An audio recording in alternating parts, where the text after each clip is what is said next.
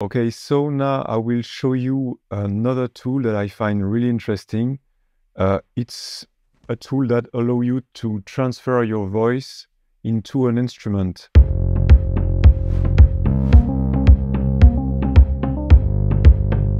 And there are several instruments that are available now, uh, like a violin, sax, and trumpet.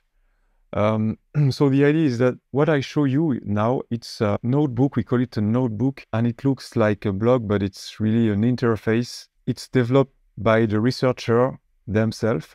So it's a kind of intermediary state between a prototype and the product. So what I will do is now I've installed, you, you can go to this address and, and do the same thing as me you have to install and import the model.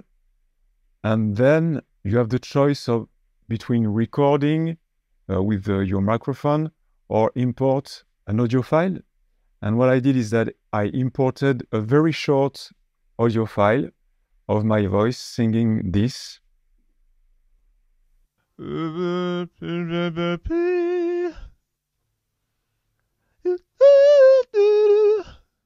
It's kind of improvisation that I did.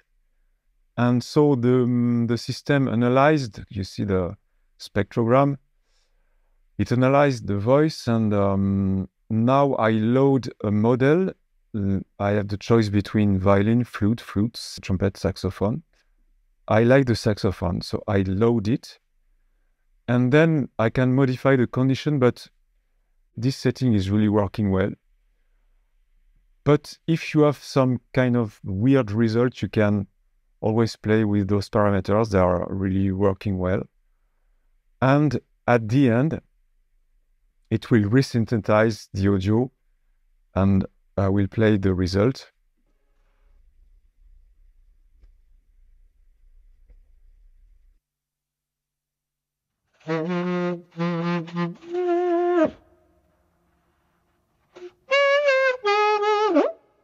So it's really, it sounds like a saxophone. And uh, you can try the, all the instruments, they are really fun, like the flute or violins. And I can show you how I used it in a song. So I switched to, by the way, I want to show you that uh, recently the guy who, who did this tool, he created a plugin and it's really kind of the same, uh, same process uh, so I think it's it's available. You can search for this on, on, the internet, and you can choose a bit like you have the same possibility. You can choose an instrument. There are maybe less, but there is a new one that is really interesting. So I invite you to yes to to have a look. And just for fun, this is the saxophone. And I also use the violin model. I think it's really interesting. I play the voice that I gave. And this is the result with a violin. And so uh, I use this this tool because uh, I was singing a song with a kind of clown voice uh, giving you bad news. This is a sad song for your babe. sad song for your babe. Really, really sad.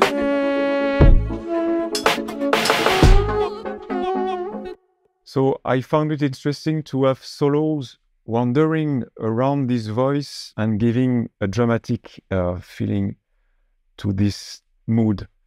So for example, in this part, I've mixed a violin and a saxophone here.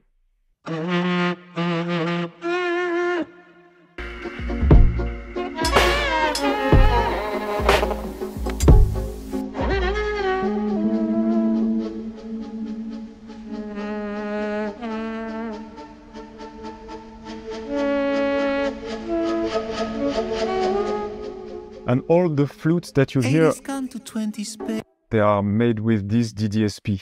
So that creates something